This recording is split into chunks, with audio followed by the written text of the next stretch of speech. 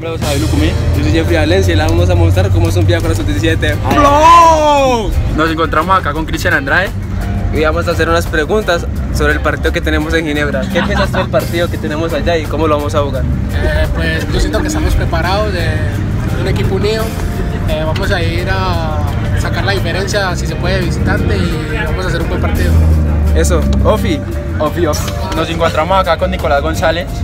Y le vamos a hacer unas preguntas sobre cómo se veía el ambiente en el, antes de un partido. Eh, no, yo creo que es eh, mucha felicidad, unidad de grupo y nada, o sea, es cosas que, que se experimentan solo una vez y con la mejor actitud, yo creo. Ofi. Y empieza nuestro viaje. Más adelante les estaremos contando qué puede pasar.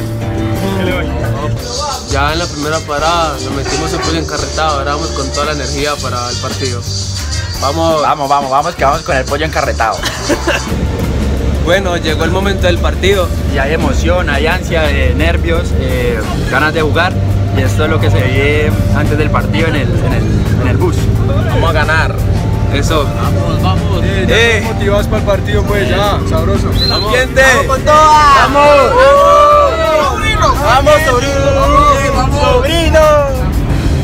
Estamos, estamos activos. Hola a todos, otra vez estamos aquí ya en la sede de Real Independiente y estamos listos para el partido. Estamos motivados, alegres, ansiosos. Siempre con las ganas de salir con la victoria y llevamos esos tres puntos partido. para casa. ¡Vamos! Vamos.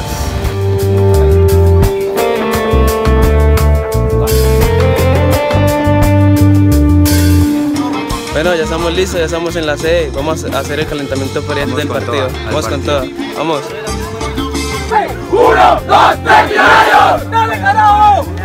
Ya estamos listos, vamos a empezar el partido y aquí estamos por los tres puntos. Con toda, vamos con toda. Vamos.